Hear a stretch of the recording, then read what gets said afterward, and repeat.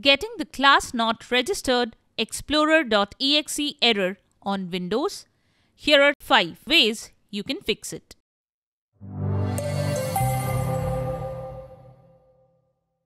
This error usually occurs if the file has become damaged or corrupted or a concerned DLL file has been unregistered. Here we have shown how to fix it. Let's get started. Method 1. The first thing you need to do is re-register the DLL file.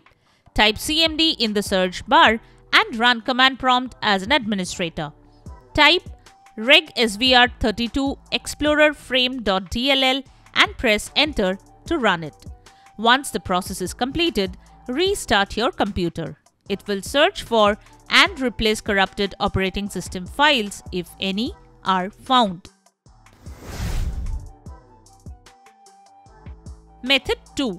The next thing you can do is run the system file checker. Open command prompt as an administrator again. Type sfc forward slash scan now and press enter to run it. Wait for the scan to finish and restart your PC. Method 3.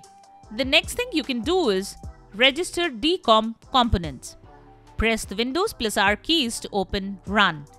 Type DCOM CNFG and press Enter to open Component Services. Navigate to Component Services, then Computers, then My Computer, then DCOM Config. When you expand the arrow against DCOM Config, you may see a message box asking if you want to register some component.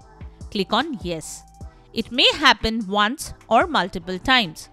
This will help fix DCOM errors. Method 4. The next thing you can do is re-register Microsoft apps. We have a detailed post on it, so check it out and perform as given. Method 5.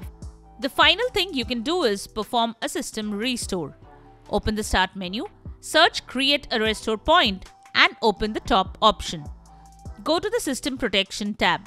Click on System Restore.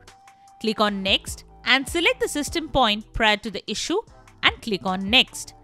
Follow the on-screen instructions to complete the process.